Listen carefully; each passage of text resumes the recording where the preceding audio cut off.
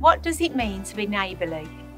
Being a good neighbour means being there and being aware, being able to help them if they've got a problem. You might not be able to solve it, but you might know somebody who can.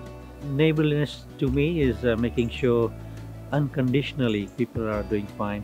I do it myself unconditionally, that uh, I keep an eye on my neighbours, especially elderly people.